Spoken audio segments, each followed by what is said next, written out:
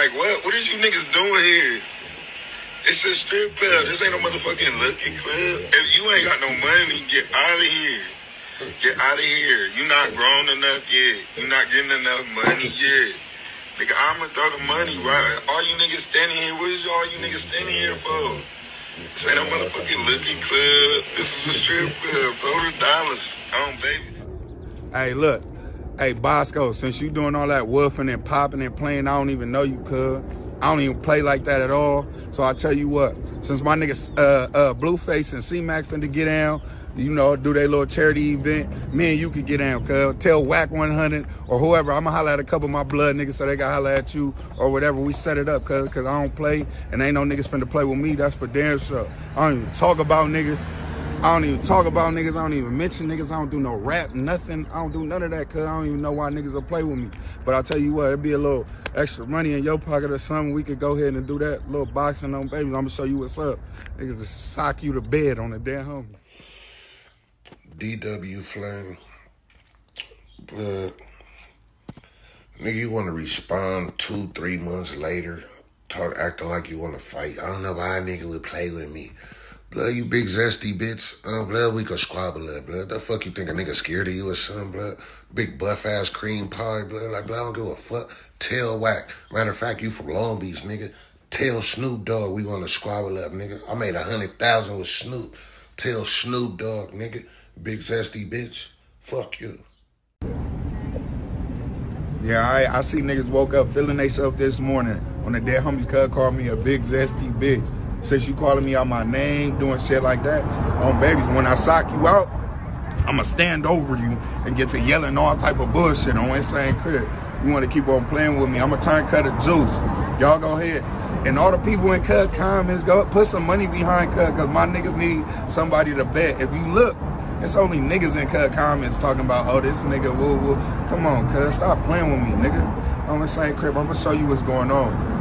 I'm a sea walk. I'm a sea walk out there, not cuz. Either we gonna laugh or we gonna fight. But this ain't no motherfucking looking club. Yo, yo, yo, it's Big Ant, man. We back. Another edition of Urban Politicians TV, UPTV. Make sure you stay on your pivot at all times, man. Had to come tap in real quick. Boskoe and DW Flame get going at it.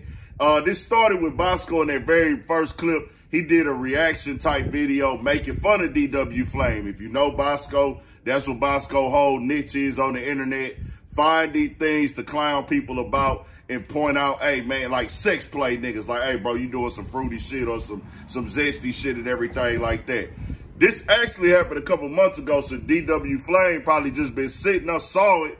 Of course, the way the internet work, a nigga gonna see it when you say something about it, cause somebody gonna clip it up somebody gonna grab it and somebody gonna send it to them or tag them in it. Or the algorithm for madness is what we call YouTube. A nigga might open his phone and that bitch just be right there. That's how the game work on the internet and when you got a cell phone.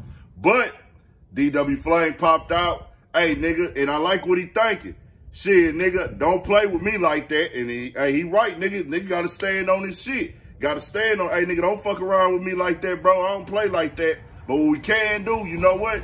Tell Wack 100 set up the fight. Because they just got to put out there with C-Mac, hey, he finna get in the ring with Blueface. They working on lining that up. So, nigga, we could get on the undercard and get on the same fight card and do our thug thizzle too. Which it makes sense. Everybody get a bag.